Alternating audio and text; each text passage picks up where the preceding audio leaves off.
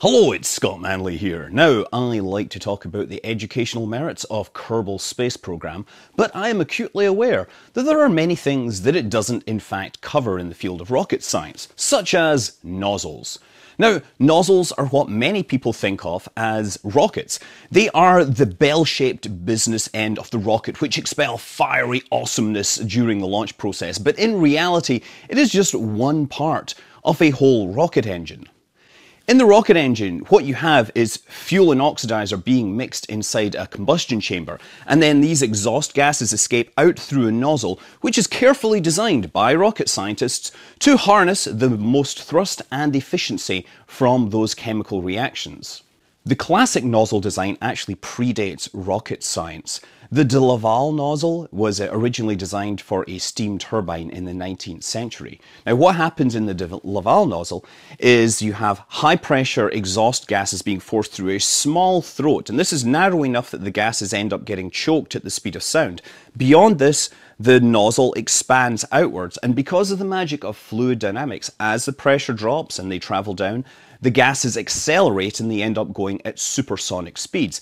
And of course, in rockets, the faster those exhaust gases go, the more efficient your rocket is. Getting the right nozzle shape and dimension can make a huge difference to the performance of a rocket engine.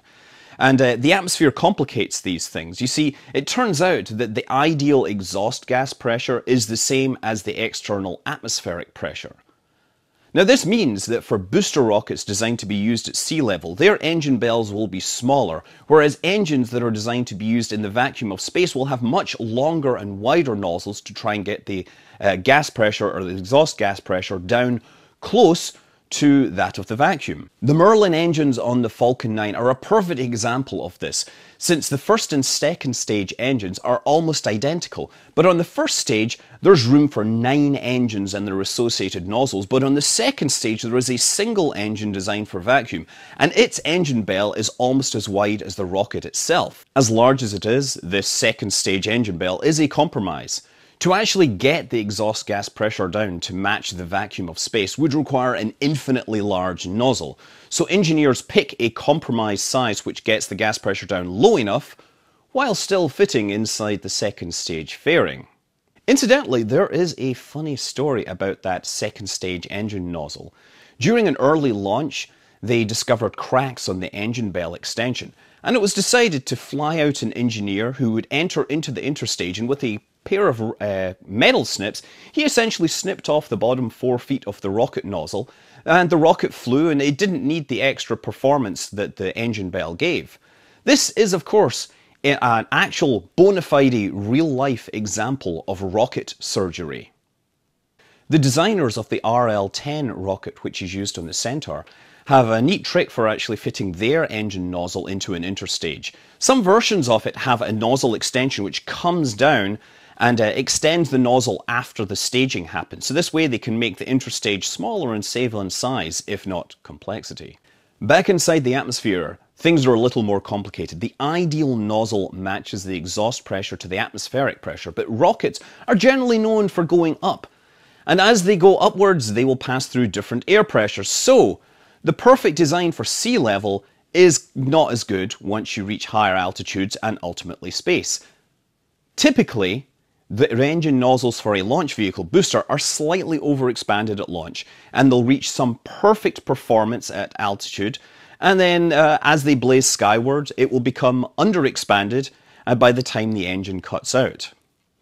But there's actually a limit to how big you can make a simple rocket nozzle and still have the engine operate stably. If the exhaust pressure gets too low, then the atmosphere can push back inside the rocket nozzle and this causes the exhaust to detach from the rocket, the, the engine nozzle walls, and this can cause all sorts of instability that can lead to control problems and other undesirable phenomena.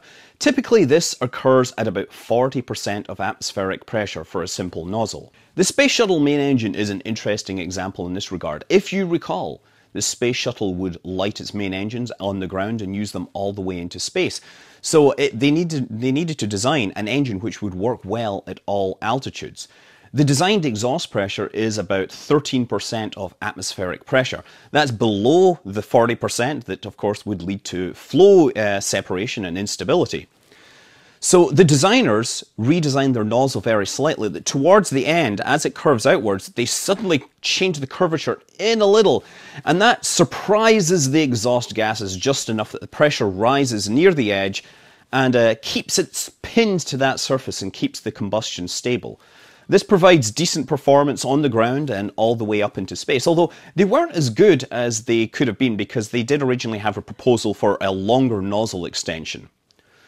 And another thing, overexpanded nozzles are the source of those beautiful chains of shock diamonds in exhaust. Because the exhaust gases for an overexpanded nozzle are below that of atmospheric pressure, as they come out, they get squeezed in and then the pressure gets too high and they bounce back. So you get a hot spot as it bounces in and out, and that's why you'll get the chain of shock diamonds on certain types of engines. Of course, as the engines go higher up in the atmosphere, the pressure drops and the nozzle becomes no longer overexpanded. So it's a phenomena that is related to exhaust gas pressure versus atmospheric pressure. You don't see it in space, incidentally. Now, I've focused on conventional nozzles, but because of the altitude dependence, there is an incentive for scientists to come up with nozzle designs that are efficient at, across a wider range of atmospheric pressures.